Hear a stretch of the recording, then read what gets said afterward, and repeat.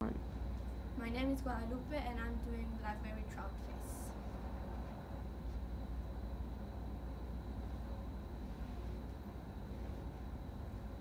Don't you even want to know if I met her? She sent me a text. It said, I'm in a special case. So I thought I knew where she was. There's this park right near the river where you can see the Runcorn Bridge. I've been there with my mom a few times. We'd sit off and look at it and I'd tell her all the stuff I knew about it while we had a flask of tea and some cookies. We called it our special place.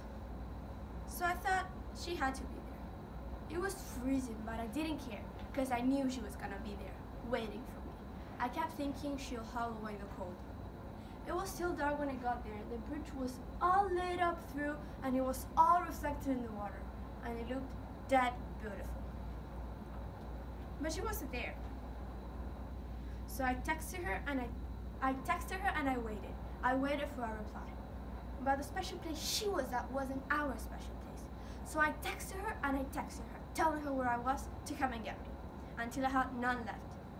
Then the sun came up and the bridge wasn't beautiful anymore. Just a bridge. Ugly, cold metal. Then she finally texted me back. She said she's with some old friends from years ago and that they're overlooking some river. She said there's this pretty nice little bridge going across it and that it reminds her of me. A special place. She said she'll tell me about it one day when she sees me. And, oh yeah, uh, keep safe.